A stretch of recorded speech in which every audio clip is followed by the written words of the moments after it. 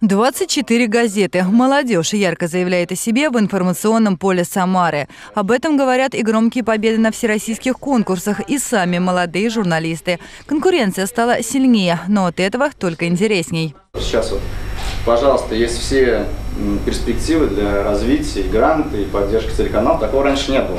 Сегодня молодежные редакции могут получить поддержку благодаря системе грантов молодежному форуму «Иволга» Всероссийскому фестивалю студенческих СМИ «Прайм Тайм». Молодых журналистов призывают не вариться в собственном соку, а реагировать на социальные проблемы и темы, важные для целого города. Конечно, нам хочется более серьезно с вами взаимодействовать. Мы понимаем, что молодежь – это будущее. Хочу назвать основные темы, которые будут важны в городской жизни а, в следующем году. Конечно, чемпионат мира – это наиболее, наверное, яркая, наиболее более емкой темы на следующий год, в рамках которой мы с вами все будем взаимодействовать.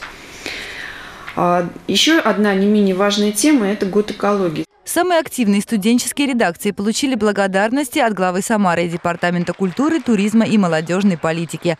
Наш телеканал также отмечен за внимание к сфере молодежной политики. Личные грамоты за профессионализм получили корреспондент Валерия Макарова и ведущая программы «Точка.ру» Юлия Черняева. Марина Кравцова, Валерия Макарова, Артем Сулайманов. События.